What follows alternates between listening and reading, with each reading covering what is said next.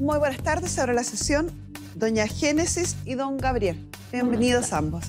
Gracias. ¿Cuál es su caso?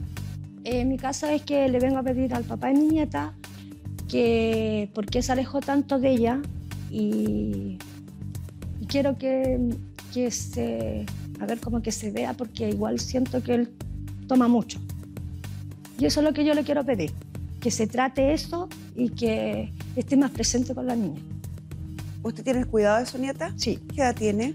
11 ¿Y desde cuándo que tiene los cuidados? del 2016. ¿Y por qué? porque falleció la mamá de ella y, y como yo la había criado el año tres meses, había estado conmigo y con la mamá, eh, me dieron el cuidado personal. O sea, ¿la crió siempre usted? Claro, ¿Y por qué no los papás? Ni la Eh. mamá ni el papá. No porque la mamá vivía conmigo, pero después se metió a la droga. Ah, Entonces ella vivía conmigo y con la niña. Y entonces, si bien vivían juntas, era usted quien ejercía efectivamente Claro, los cuidados. sí, yo Su era la que hija estaba ejercía. involucrada en adicciones. Sí, Y este caballero, usted es el papá de la niña de 11 años. Sí. Doña Génesis viene a pedirle que se vincule más con la niña. ¿Eso no está ocurriendo? ¿No está visitando a su hija? ¿No está relacionándose con su hija? Es que mire, señor- eh, señora Carmen, yo eh, no depende de mí, depende mucho de mi trabajo también. A ver, explíqueme. Porque yo tenía las visitas los, quince, los quincenas y los fin de mes. Ya está, O 15 sea, yo, días. por- yo, yo pedí eso, ¿por qué? Por el motivo que cuando tengo plata. ¿Por qué vive muy lejos usted? De ellos sí, ¿Dónde vive usted? en los espejos, ¿Y la niña? en la Florida. Ya no es tan lejos, pues caballero. No es que tenga que comprar un pasaje de avión y movilizarse. Sí, también es cierto. Entonces, ¿será dinero o serán ganas? Es que por eso que le digo, mire, no, no depende mucho de mí, porque a veces yo trabajo hasta los días sábados, yo soy un hombre que vivo con mi hermano y mi papá, y yo te ocupo los días domingos para hacer mis cosas, para lavar mi ropa y todo eso. ¿Y su hija cuándo? Entonces, usted no tiene tiempo para ser papá. Sí, sí, tengo tiempo, pero como le digo, a veces yo también voy a ver a, a- a- a mi hija allá y ella sale. No, que voy para donde, nos, no sé, pues para donde un familiar de ella. ¿Pero se coordinan antes o llega de repente usted? Eh, lo Por que yo- pasa, a ver, lo que pasa es que él, eh, el año pasado, él eh, cumplía más, pero este año él como que se alejó. Él vio a la niña antes del Día del Papá, que eso estamos Junio. hablando, mayo, mayo. Junio. Claro, junio. 19, 20 de junio, por ahí el día del papá. Y vino en octubre de nuevo y de ahí no la... Por se pasó... eh, O sea, Mi nieta cuatro meses entre claro. una relación y otra. Mi nieta quedó con el regalo el día del papá. El problema ahora es que él la habla por WhatsApp, pero ella no quiere contestarle, po. no quiere contestarle. Entonces yo le digo, pero hija, contéstale. No, es que no quiero. ¿Cómo en cuatro meses no va a tener un minuto, una hora durante un mes para ir a ver a su hija? Es que por eso es que no sé por qué mi hija también está enojada conmigo. que Porque no sé. va, pues caballero, parece obvio, ¿no? Es que no, que hay otras cosas que también le dicen. po. Por eso. ¿Qué le dicen? ¿Que el papá no la va a ver? Sí, porque yo que, que soy alcohólico y no es tan así, porque yo soy un hombre responsable.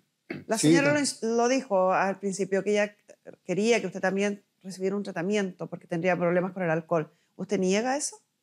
Sí, porque yo soy... Mire, si usted viera mi expediente de trabajo, yo soy un hombre súper responsable. Fuera, fuera un hombre alcohólico, no iría a trabajar. Yo No, necesariamente, esa es generalmente la, cara, la caricatura que se eh, relaciona rápidamente con las personas alcoholizadas que dejan todo, que dejan todo botado, pero hay grados de alcoholismo que sí, la gente sigue trabajando. Sí, no es garantía de nada. Sí, pues.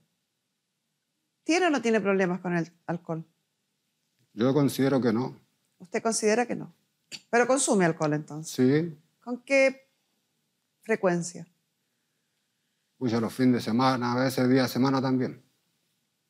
Pero todos los días no. ¿Día por medio? No tan así. No tan así. Tres, cuatro días a la semana. Tres ¿Y días. cuánto? Esas, estas tres veces que consume, ¿son tres veces que termina ebrio? No, ¿Medio ebrio? yo diría que por ahí. Por ahí. ¿Y por qué la señora creerá que tú tienes problemas con el alcohol? ¿De dónde cree que concluye eso? Lo que pasa es que mi nieta me hace el comentario. Por ser ella, ella siempre me niña? dice, sí, me dice, es que mi papá toma, y mi papá toma y pelea.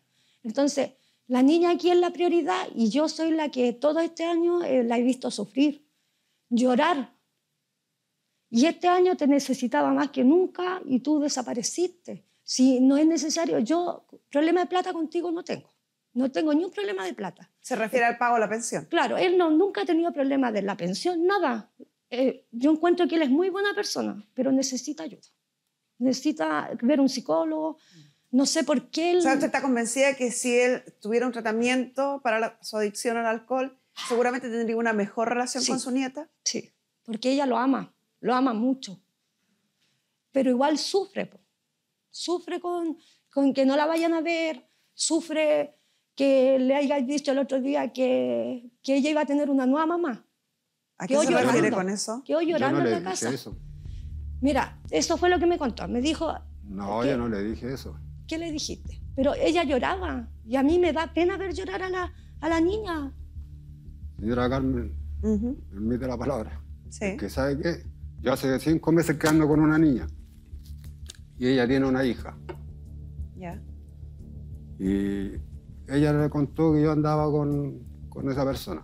Yo el día que fui a, a ver a mi hija, yo le dije, ¿sabes que voy a tener?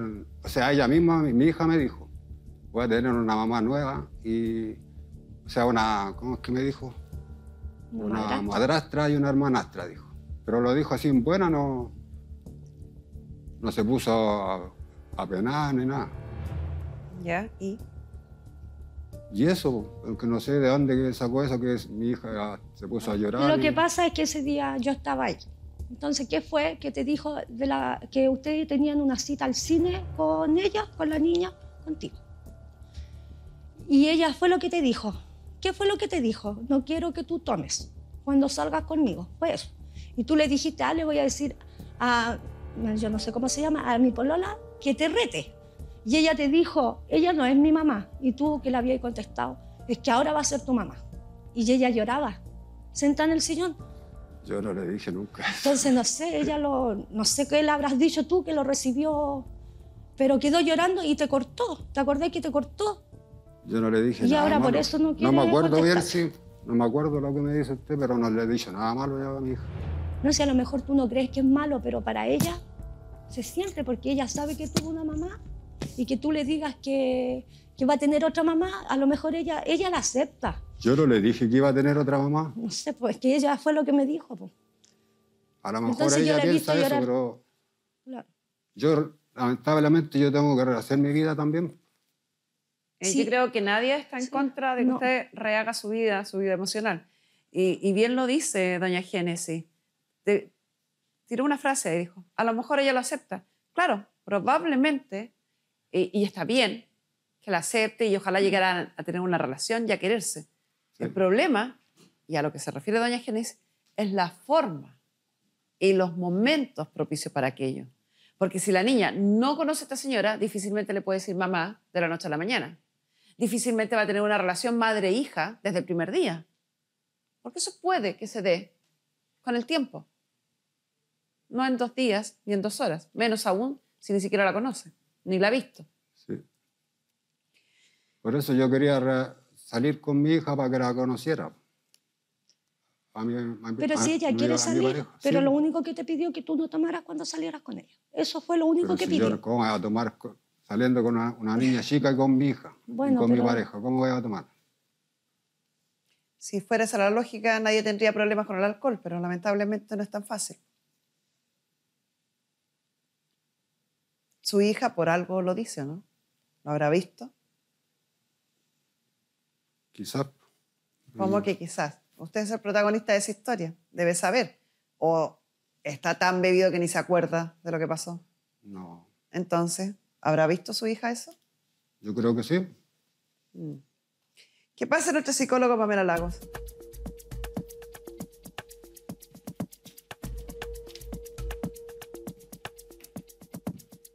Cuesta un poco, no es directo, pero uno tiene un poquitito Y se da cuenta que es real. Aquí hay consumo excesivo de alcohol, evidentemente, porque si no uno tiene claro que no, nomás, pues la respuesta es no, no es sí, capaz que sí. Eh, hay pérdida de, conciencia, hay situaciones en las que puso a la niña con, eh, consumir alcohol, por algo la niña está pidiendo esto como condición para salir con el padre. O sea, no sé si tú en la entrevista personal pudiste ver otros indicios más claros. Sí, efectivamente, don Gabriel, hay un problema. A él le cuesta asumirlo y lo primero que dice es no, no, no, como dices tú. Pero después cuando uno empieza a indagar un poquitito más, él reconoce que que la policía lo ha pillado consumiendo en la calle, que ha tenido problemas familiares, que ha habido discusiones y uno de los grandes problemas tiene que ver con eso. Esta niña ha visto discusiones familiares de su padre con la familia, con sus hermanos principalmente, por el alcohol. Y eso la aterra. Obvio. Y es completamente entendible. Las pocas veces que ha salido, las visitas son en la casa de la abuela, y las pocas veces que ha salido con el papá, a la casa de la familia paterna, esto termina en discusiones, en conflictos, siempre relacionados con el alcohol. El problema ahí es que la niña tiene las visitas en la casa de su abuela. Cuando ella va para donde su abuela no tiene ningún problema. El problema es cuando va él hacia allá. Entonces ahora mm. tampoco lo dejan ir para allá, entonces no la ve. Es que allá tampoco, yo nunca me curaba allá en la casa de mi mamá. Pero es que esas son cosas que, habla la niña. No es cosa que yo sepa, a mí me lo ha contado ella. Ella no me Señor, eh, creo que el problema no es dónde se embriaga, el problema es que se embriaga. Pero yo soy un hombre responsable y tengo derecho a hacer lo que yo quiero también. Hay un término que se llama el alcohólico funcional, que uno de los grandes problemas es que esta funcionalidad muchas veces sirve como excusa, que es el alcohólico que puede seguir haciendo su vida, puede seguir trabajando, cumple, sin embargo en los horarios en donde no está trabajando, cae en el alcoholismo. Y eso es lo que está pasando acá. Que usted vaya a trabajar no hace que no tenga un problema. Que consuma constantemente, que incurra en riñas por consumir, que, usted me lo dijo textual, la policía lo encuentra en la calle apagado, son problemas de alcoholismo. Y, hay otro, otra razón, que es la que nos tiene acá. Hay una hija de 11 años que ya está percibiendo que su padre tiene problemas con el alcohol. Y eso es quizás lo más importante de lo que está pasando y la razón por la que usted está acá. Hay una niña que perdió a su madre tempranamente por una situación muy similar, quizás en mayor magnitud, pero una situación que tiene que ver también con las adicciones, y que ahora está viendo que el padre está en el mismo camino. Entonces, hay que ponerse un poquito, un poquito en los zapatos de esta niña, que es lo que estaba hablando Pamela hace un rato. No es lo mismo que yo me encuentre con usted y usted esté borracho, aquí una niña que siente que depende 100% de ese adulto, que es el adulto más cercano que va a tener en su vida, que es el padre, y lo vea alcoholizado. ¿Me permite la palabra? que sabe que hace como un año que ella, ella le dijo a mi hija que se había muerto de la mamá. No sé, no sé de qué forma se la dijo, pero mi hija eh, empezó a caer de la escuela. Y de ahí mi hija está mal. Yo evalué muy bien ese tema. La abuela ha actuado de una manera total y completamente empática y diligente con esta hija. Esta niña, desde el fallecimiento de su mamá, está con tratamiento. Las formas y la información que se le ha ido dando ha sido acorde y consensuada con la psicóloga, que la ve desde hace muchos años y con quien tiene una muy buena relación. La abuela ha hecho el camino que corresponde le ha entregado la información a medida que la niña ha ido preguntando, de la manera en la que la niña necesita saberlo y, insisto, siempre asesorada no solo ella, sino también su tío, que es el hijo, eh, el hermano de la mamá de esta niña, con quien vive, con quienes han generado una relación tremendamente bonita, muy potente y mucho respeto por esta niña. A mí me impresiona porque esta es una abuela que se transformó en mamá de una manera muy potente y buscó ayuda, se asesoró, aprendió, hizo la pega, como se dice. Y no solo eso, se nota en ella un nivel de habilidades parentales preciosa. Ve a la niña tal cual, no la idealiza, que es algo que, hace, que, a veces hacen mucho las abuelas, sabe las cosas buenas, sabe las cosas malas, sabe cómo tratarla y pide ayuda cada vez. Y en eso quiero que usted esté tranquilo, don Gabriel. La entrega de información que recibió su hija fue de libro, fue organizadita, fue pensada, fue programada. No fue un arrebato, No fue porque la abuela quiso, sino que fue lo mejor que su hija necesitaba en ese momento. Sí, porque a mí me mandaron a buscar varias veces ella misma por el, por el nivel de, que- de rendimiento que empe- empezó a bajar A ver, el, desde que ella le dijo eso. el rendimiento no fue por lo que supo de la mamá, porque ella lo sospechaba. El fue que eh, ella no le gusta hacer videos. Entonces en el colegio le pedían videos y ella no lo hacía. Entonces ahí bajó la nota. Pero ahora pasó y volvió a subir a un 6.3. Ahora, eh, don Gabriel, sin entrar a calificar qué puede ser peor o qué puede ser mejor, pero porque creo que ninguna de las cosas es buena. Pero así como usted le preocupa que conocer las circunstancias en las que falleció la madre puede afectarle a la niña en su rendimiento escolar y en su desarrollo de la personalidad, ¿usted no cree en algún minuto, así, haciendo un esfuerzo, mire, piense un poquito, ¿usted no cree que si la niña conoció las circunstancias en que falleció la madre y hoy sabe que el padre está aparentemente en el mismo camino, ¿no le afectará en algo a la niña? Yo creo que sí, pero... Y las circunstancias entre que falleció la madre, ¿las podemos modificar? ¿Cómo no le entiendo? ¿Podríamos cambiar la historia como terminó la vida de la madre? Es que eso depende de ella, porque ella No le se cuenta- puede cambiar, pues. La historia de la forma en que fallece la madre, las condiciones y razones por las que fallece, ya no se cambian. No. Es un hecho. En cambio, las condiciones en que el padre vive, las condiciones en que el padre se comporta, las di- adicciones del padre, ¿podrían cambiarse? Sí, Entonces, ¿cuál de los dos asuntos es hoy importante? ¿Las condiciones en las que falleció la mamá o las condiciones en las que vive el padre? mi condición. hágase cargo y escuche lo que le está diciendo Pamela, porque es lo único hoy que podemos corregir y con eso afectar directamente la calidad de vida de su hija. Lo otro es un hecho que ya fue, que ya pasó, que la señora se lo contó, que Pamela ya le explicó que fue con toda la asesoría de los profesionales que podían o tenían a su alcance y eso ya está. En cambio, su comportamiento, su relación con su hija está fallando, le está afectando y se puede mejorar. Acá hay una niña, don Gabriel, que tiene 11 años, pero que casi que hace de mamá con usted. Le pide que no tome. Ella me contó que usted la llama para decirle, ¿me puedo tomar una cerveza? Y le dice, no, toma agua. Y discuten, de igual a igual.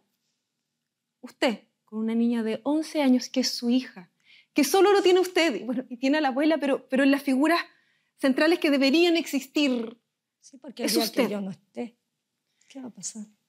y ella siente que usted es un igual, que es un amigo, que tiene que cuidarlo. ¿Sabe qué me dijo su hija cuando yo le dije, los psicólogos hacemos eso, le preguntamos muchas veces a los niños, ¿cuál es el deseo más grande que pueden tener? Si pudiéramos hacer magia, porque ahí aparece lo que buscan. Cuando yo le pregunto eso a su hija, ¿sabe qué me dijo ella? Que mi papá deje de tomar, que ordene su vida, que tenga un departamento, que deje de pelear con sus hermanos y que viva tranquilo. No pidió ni un deseo para ella, no pidió nada para ella. Pidió que usted tuviera una vida más ordenada. Para ella, usted casi que es una preocupación. Es como si él fuera el hijo. Ella se preocupa de cuidarlo porque tiene miedo a perderlo. No está haciendo el rol de papá. Ella no se siente protegida por usted. Ella siente que usted, que, ella tiene que cuidarlo a usted. Y eso es tremendamente injusto, porque tiene 11 años. Debería vivir la vida sintiendo que el papá es un superhéroe que la va a cuidar siempre. En cambio, siente que ella tiene que hacerse cargo de la vida de usted. ¿Cómo se cambia eso, Pamela? A mí me encantaría que don Gabriel hiciera terapia. Me encantaría que se tratara su alcoholismo, que es lo primero que debería hacer. Y que además hiciera terapia de habilidades parentales, para entender lo que es un papá. Que un papá no tiene excusa.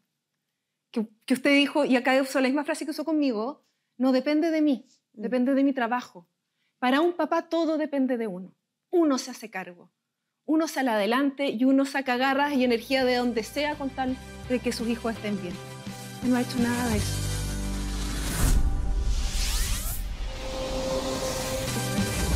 Cuando yo le pregunto eso a su hija, ¿sabe qué me dijo ella? Que mi papá deje de tomar, que ordene su vida, que tenga un departamento, que deje de pelear con sus hermanos y que viva tranquilo. No pidió ni un deseo para ella, no pidió nada para ella, pidió que usted tuviera una vida más ordenada. Para ella usted casi que es una preocupación. Es como si él fuera el hijo. Ella se preocupa de cuidarlo porque tiene miedo a perderlo. No está haciendo el rol de papá. Ella no se siente protegida por usted. Ella siente que usted, que, que ella tiene que cuidarlo a usted.